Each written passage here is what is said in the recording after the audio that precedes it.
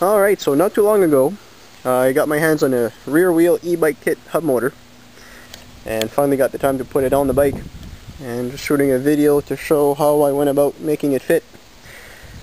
The motor itself is symmetrical. The rims in the middle of the hub, if you check down here, you'll see how it's not centered in the frame but centered on the hub. So if you look at your brake pads, you'll notice that on the left there's not a whole lot of room, where on the right there's all kinds of space. Now there's a few ways to get around it.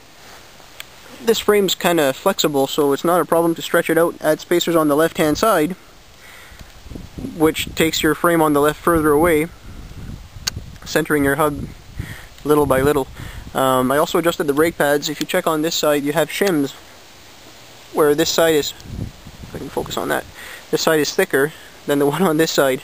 Um, the combination of adjusting the brake pads, putting a spacer on the left, and going with a 5-speed freewheel on the right instead of a 7.